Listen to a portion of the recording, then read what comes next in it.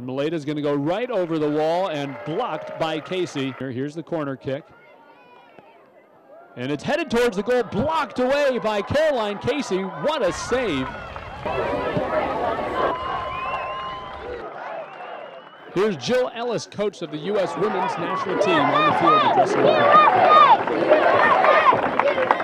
I can honestly say I got chills. Thank you so much for that reception. Um, I'm going to be fairly brief because uh, I know we're here to watch a soccer game, but first of all, I just want to thank William and Mary for having me back here. Uh, it's like being home, it really is. And this place, um, it set me up. It really did. It gave me a strong foundation. Um, helped me deal with a lot of the pressures that you go through when you're trying to achieve something that great.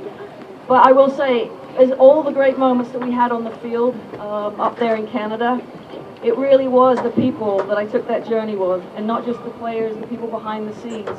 And that really what uh, what this place gave me. It gave me teammates. It gave me people to help me and guide me and mentor me through uh, to be able to achieve something like this. So I'm extremely honored and privileged to be a member of this community. Um, you've served me well. It's been a long, long time, but I loved it here, and I and I thank you guys so much for coming out and supporting. Let's get it done in the second half, huh? Thanks so much.